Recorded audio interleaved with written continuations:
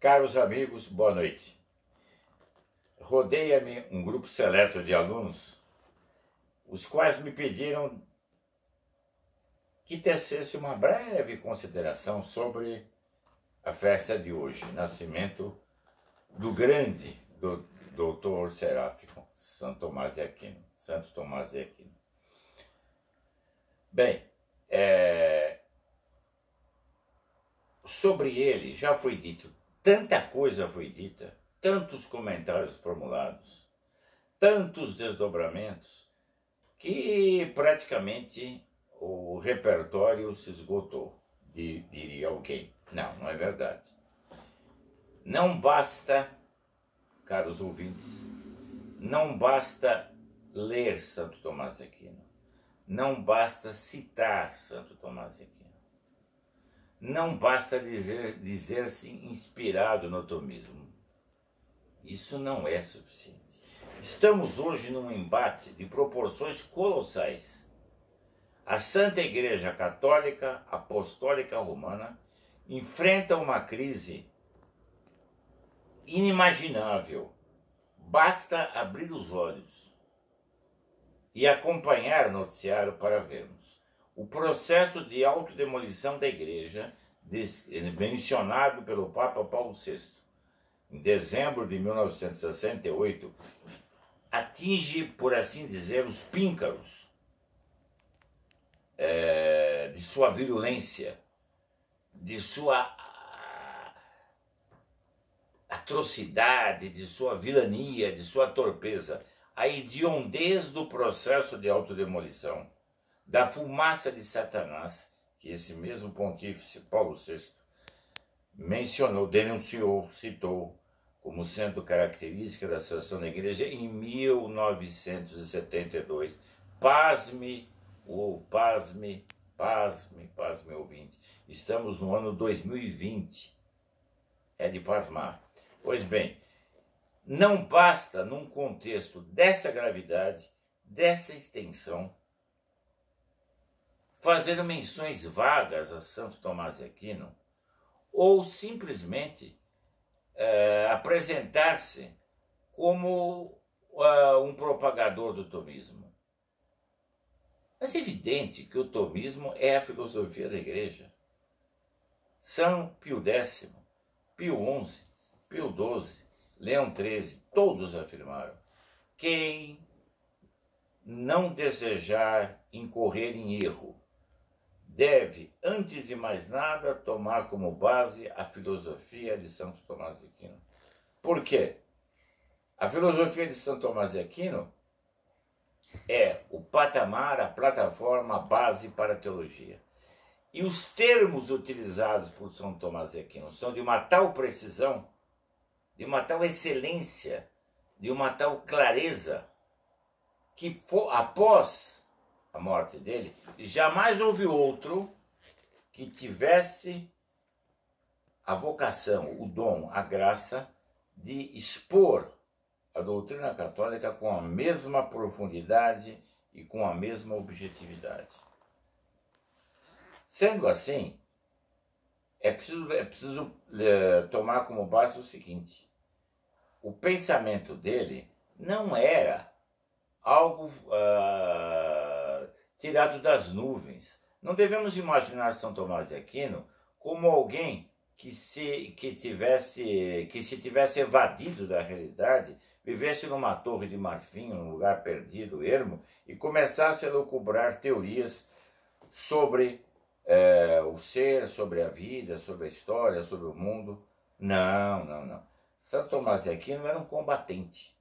Ele, ele desenvolvia as teorias, os princípios, com base nas perguntas formuladas pelos alunos em aula. Quer dizer, a ideia do embate, a ideia da confrontação, da refutação e da polêmica era constante na vida dele. Ele era um apologista, era um homem voltado para a apologética, para a luta. E não imaginemos, portanto, que seria um erro colossal, uma distorção enorme, que se ele estivesse vivo hoje, é, digamos, não imaginemos que ele fosse capaz de ignorar os acontecimentos e viver recluso, fazendo, fazendo hipóteses é, é, hiperbólicas ou parabólicas é, no sigilo de uma maneira pouco clara, estabelecendo critérios e roteiros de vida e de estudo aéreos, descolados da realidade. Não.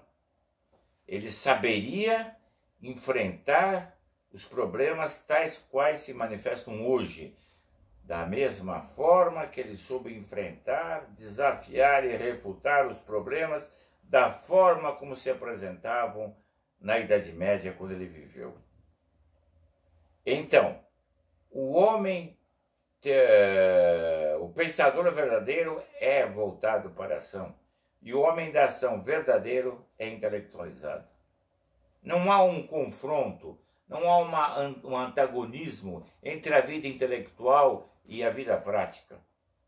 O homem intelectual não, não deve, não pode ser caricato, grotesco, viver isolado e apenas lançando frases de efeito. Não. É preciso que ele saiba entrar na carne viva dos acontecimentos, analisar o que se passa hoje no mundo inteiro, a revolução cultural. Em primeiro lugar, a, a, a situação catastrófica da Igreja Católica, mas não apenas isso. O homem vive muito mais na sociedade temporal do que na sociedade espiritual. Então, se não houver um esforço enorme para que a, a sociedade temporal tenha o espírito católico, de nada vale vivermos isolados, julgando que a, simplesmente assistir à missa verdadeira, tridentina, e tomar uma, uma e, nos, e estarmos reclusos ou, ou afastados do conjunto, que isso resolveria o problema. Não. Deus quer de nós tudo. Deus quer de nós a dedicação inteira, plena, completa, meticulosa e minuciosa no dia a dia. Essa é a realidade é, é, incontrastável e inequívoca. Portanto, é, não, de nada vale a pessoa fazer um catálogo de obras que devem ser lidas. Isso não resolve nada.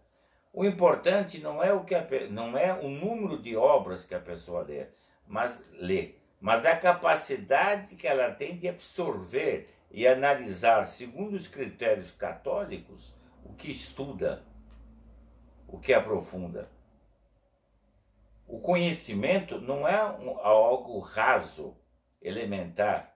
Não é, não é um conjunto. Não, o saber não é um. Não, não é um uh, não, não se entende o saber como sendo compartimentos estanques na inteligência. Não.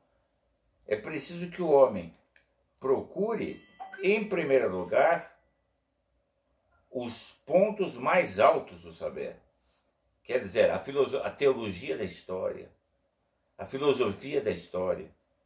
Isso dá sentido à luta, porque nós temos, estamos é, imersos num processo que se chama revolução versus contra-revolução. Quer dizer, há um embate, e esse embate é colossal, entre os que querem destruir os últimos fundamentos e os resíduos da civilização cristã, e os que querem, os que lutam para preservá-los, para restaurar a verdadeira face eh, da cristandade, a verdadeira eh, luz da civilização cristã. Portanto, não murta sed murtum, não basta a quantidade, o que importa é a qualidade. Quem não sabe ler um livro não saberá ler 50. Quem não sabe pensar, não sabe ler. Quem não tem critérios claros para análise, pode passar temporadas e meses recluso, estudando doutrinas teóricas e não concluirá nada. Apenas será facilmente é, candidato a um, um forte desequilíbrio mental. A realidade, portanto, é muito mais sutil e muito mais profunda que isso. Há um provérbio antigo que hoje é, talvez seja desconhecido pela maioria das pessoas, mas que diz bem isso. O vício da leitura é pior do que o vício de não ler. Quer dizer, ou a pessoa sabe discernir o que lê e tirar proveito, ou ela mergulhará num caos. Se, procura, se procurar ingerir, por assim dizer, uma bibliografia imensa, mais ou menos como quem, é, quem supõe que é, empanzinando-se, empanturrando-se no seu, enquanto os alimentos ficará forte. Não é isso que caracteriza o, o, o indivíduo forte, robusto e saudável. É preciso aprender a assimilar. E o homem só aprende a assimilar quando aprende a pensar. Pensar é distinguir. Ninguém sabe distinguir sem uh, decidir o rumo, o sentido do que está vendo. Ora, decidir é excluir. Quem tem uma mentalidade ecumênica, no sentido de convergência eclética, sincrética. Não esperemos dessa pessoa que ela tenha critérios lógicos, que ela possa ser um combatente verdadeiro da contra-revolução. Não será tomando atitudes circunstanciais nesse ou naquele ponto que a pessoa, intervindo num acontecimento de segunda monta, que a pessoa se fará presente e dará, é, e dará, dará ares de sua graça, de sua atuação. Não o verdadeiro católico é militante e ele compreende a realidade no, no seu horizonte mais profundo e mais amplo. Por isso, o verdadeiro contra-revolucionário, católico apostólico romano, não se exime da responsabilidade de acompanhar o noticiário, por mais, por mais é, antipático, indigesto e pouco convidativo que seja. Mas não é só acompanhar, é ter um olhar sereno de análise. Quer dizer, é preciso ter o espírito crítico, senso de contrariedade, capacidade de indignar-se diante dos, das afrontas que são feitas hoje contra Deus, contra a igreja e civilização cristã, e além disso, internamente, ter uma recusa, uma indignação, uma forma de energia e de senso de luta que a predisponha para que, no momento em que Nossa Senhora julgar ser, ser a, um instante azado, pré-estabelecido para atuar, para que nesse momento cada um de nós tenha a, o espírito claro, bem dirigido e bem coordenado, sabendo o que fazer. Quem nessa época obscura de preparação, nessa noite, nessa noite terrível que estamos vivendo, que é a como que paixão da igreja, se a pessoa tiver essa mentalidade agora, esse, esse preparo de alma, esse estado de espírito, no momento em que for preciso é, tomar decisões, agir, de uma maneira clara e contundente, não terá dúvida, saberá qual é o rumo a tomar. Caso contrário, a pessoa ficará aturdida, confusa. Por quê? Não aprendeu a analisar, não aprendeu a ver o noticiário, não quis entrar no âmago dos fatos, achou, achou preferível resguardar, resguardar-se e, e ficar uh, num casulo, numa situação é, aparentemente é, defensiva, sem, é, sem penetrar no eixo, no cerne dos acontecimentos. Isso não caracteriza o lutador, mas caracteriza o nefelibata, o homem que vive nas nuvens. O católico não deve viver nas nuvens. Então, se me permitem, resumo. Estudar e ler fundamentalíssimo. Analisar os acontecimentos, não menos importante que isso.